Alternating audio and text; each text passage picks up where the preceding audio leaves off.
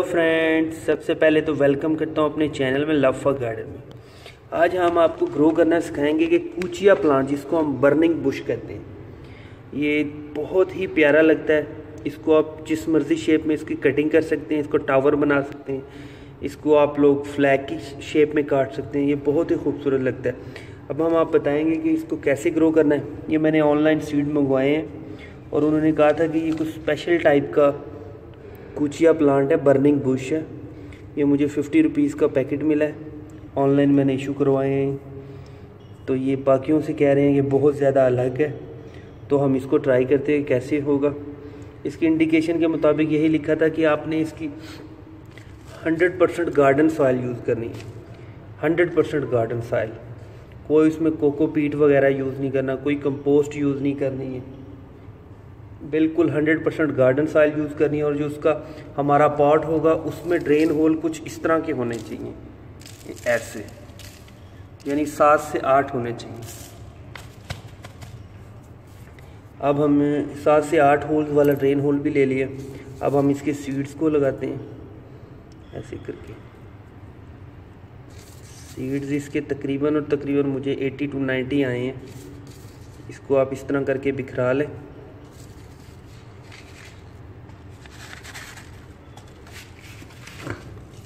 اس کے بعد جو یہ تھوڑی سی مٹی نیچے رہ گئی تھی، اسی کو ہم اوپر کر لیتے ہیں نارمل سے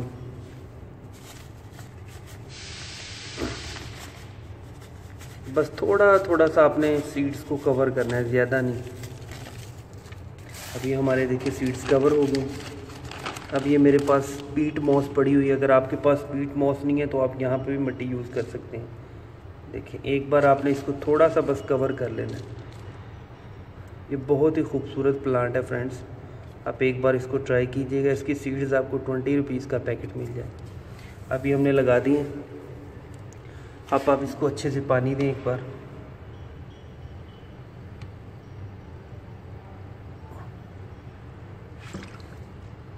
اب ہم دیکھتے ہیں اس کے ریزلٹس کیا ہیں۔ اس کا جو eh, گرو کرنے کا منتھ ہے، وہ مارچ کی سینٹر سے ہو جاتا ہے مڈ مارچ میں۔ اور آپ اپریل کے اینڈ تک لگا سکتے ہیں اور یہ تقریباً سات سے آٹھ مہینے تک پلانٹ سروائیو کرے گا۔ آپ دیکھتے ہیں اس کی کیا کنڈیشن ہے، کب جرمینیٹ ہوتا ہے، آپ کو اپڈیٹ کرتے ہیں۔ جی فرینڈز آپ یہ دیکھیں، اب پورے ایگزیکٹ ٹویلو ڈیز یعنی بارہ دن ہو چکے ہیں۔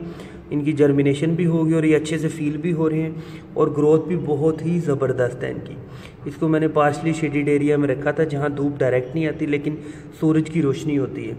ذرا اس کی سوائل جو ہے پانی دینے سے تھوڑی ان ایون ہوگی تھی، اس کو ہم دوبارہ فل کر دیتے ہیں۔ اب دیکھتے ہیں یہ اب کتنے دن بعد زیادہ میچیور ہوتا ہے۔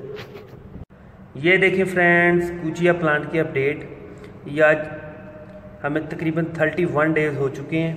کتنے اچھے سے ان کی گروتھ ہو رہی ہے۔ تھوڑی سی ویٹ وغیرہ بھی نکل آئی ہے بیچ میں۔ اس کو ہم تلف کر دیتے ہیں کیونکہ اس کو آپ کو ریموو کرنا بہت ضروری ہے۔ نہیں تو یہ ہمارے پلانٹ کی پاور سک کر لیتے ہیں نیوٹرینٹس کو۔ یہ دیکھیں یہ کتنے اچھے سے ہو گئے ہیں، دیکھیں۔ اور کافی زیادہ ہے یہ بہت زیادہ گرو کر گئے ہیں، دیکھیں۔ اس میں ویڈز بھی آ گئی ہیں، کافی ساری یہ دیکھیں۔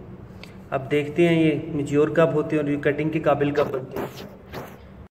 یہ دیکھیں فرینڈز یہ کوچیا پلانٹ کی اپڈیٹ ہے، یہ تقریباً اب فورٹی ٹو ڈیز ہو چکے ہیں۔